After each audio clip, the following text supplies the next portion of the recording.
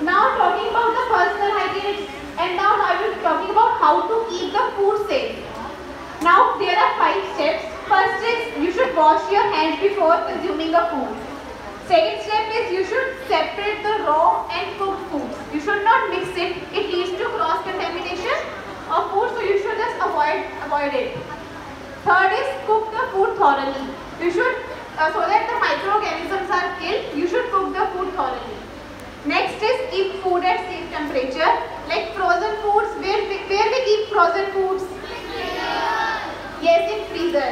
And fruits? Yes, you should always keep the food at safe temperature. Okay?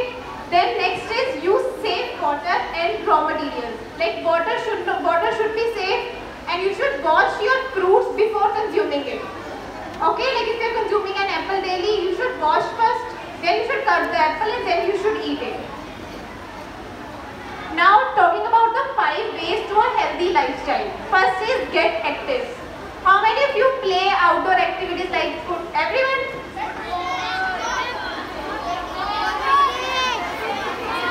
Okay.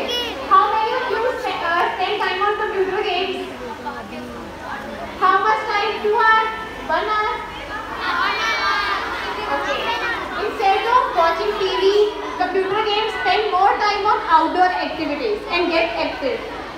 Second is choose water as a drink. Or don't rely on other, other drinks, choose water. Drink about 12 to 10 to 12 glasses of water daily. Next is eat more fruits and vegetables. As we have already discussed, you should eat more fruits. Then next is turn off the TV and get active.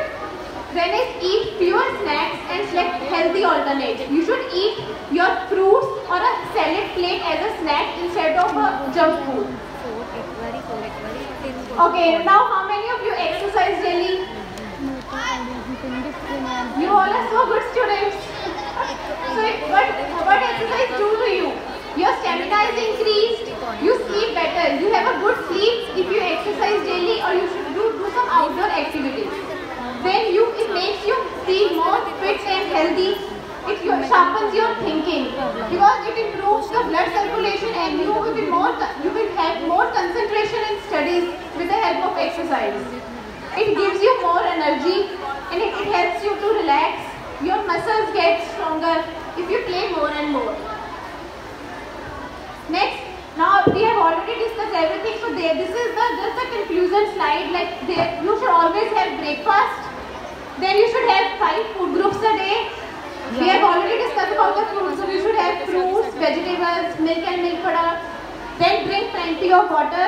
Then get active and make a change and lead to a healthy and healthy lifestyle. Thank you.